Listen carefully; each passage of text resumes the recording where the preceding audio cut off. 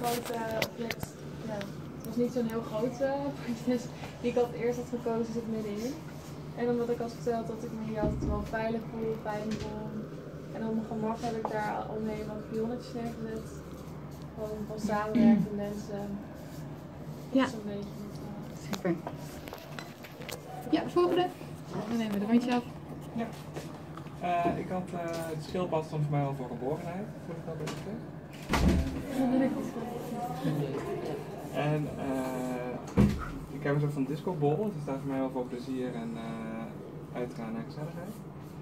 En had ik gingerbread met, ik zag in eerste instantie alleen maar het, het, het, zakje. Staat meer voor de ontwikkeling die, die ik in Utrecht heb doorgemaakt van die steeds grotere zak. En, dus dat. En de gingerbread past ook heel erg goed omdat het meer staat voor eten en gezelligheid. En, koekjes bakken, taarten bakken. ik ben huisgenoten. En uh, die vlinder staat uh, voor de vrijheid en voor levensuitslag. Top. Ja. Dank je. Dat is Luus. Nou, um, ik heb een bruidskaartje gemaakt. Een mannetje met een hoedje, heel uh, traditioneel. En een vrouwtje met een kroontje. um, daar hoort uiteraard een bloemetje bij. En die dobbelsteen is meer zo van, ja, ieder huwelijk is en blijft toch een beetje een gok. uh, als je het, uh, ja, nou ja, als je weet dat het scheidingspercentage al heel erg hoog ligt, uh, blijft het inderdaad een gok.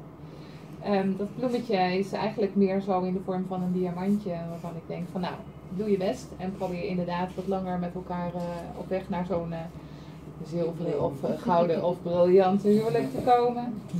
Die sleutel is de sleutel tot geluk. En dat busje is natuurlijk mijn eerste keuze, maar uiteindelijk bedacht ik me ook dat ik zelf, toen ik trouwde in 1974, een bus heb gehuurd. Dat kwam later. Een bus heb gehuurd om alle gasten ook uh, inclusief onszelf te vervoeren. Dus op zich is het helemaal compleet. Leuk. Ja. Ja. Ja. Ja. Ja. ja. ja. Een afgerond huwelijk. Ja.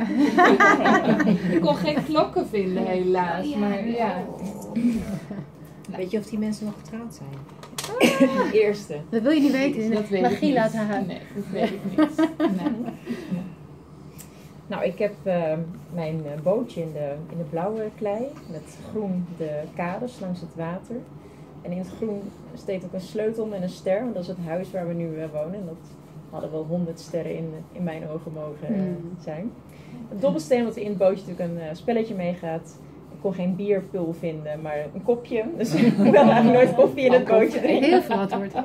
Ja, uh, de poppetjes, nou, man, twee kinderen en ikzelf.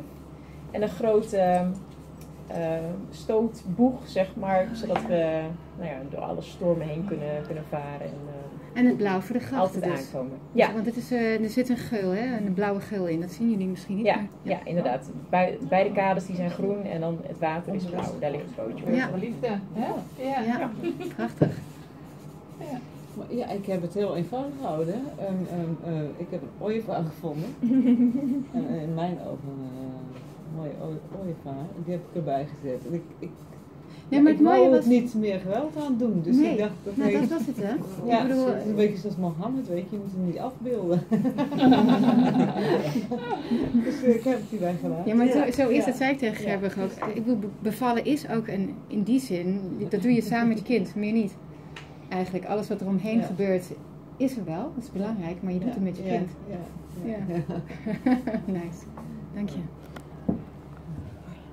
Ehm, even kijken, ja, ik heb een soort omgekeerde vrachtwagen, geloof ik, als boomboot eh, eh, gebruikt. Die ligt in het water, dat is blauw, kunnen jullie niet eh, zien natuurlijk. Ernie is dat? Nee, Bert bedoel ik. Staat erop en dat is meer omdat er niet meer poppetjes, maar omdat we daar spelletjes aan doen waren met een stuk of tien mensen. Dus dat staat gewoon voor het plezier, voor de spelletjes, voor de lol. Voor. En aan de overkant heb je dan dat park en dat heb ik gesymboliseerd met een kikkertje de dieren en met een pionnetje voor de bomen die daar uh, uh, staan.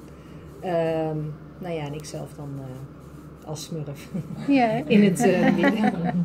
Maar dat ga je wel op het vensterbank zien. Die smurf wel, ja, de rest weet ik nog niet helemaal. Ja, nee, de bedoeling is, of bedoeling, dat moet je nu allemaal zelf weten, maar het is leuk als je dat, uh, dit in ieder geval meeneemt, of naar je werk of thuis. En als je ernaar kijkt, dat je ook dat gevoel meekrijgt, of weer, dat het weer oproept van, oh ja, dat was zo fijn in Utrecht, op dat moment. Ja, dank je. Sander? Ehm, ik heb het ook redelijk eenvoudig.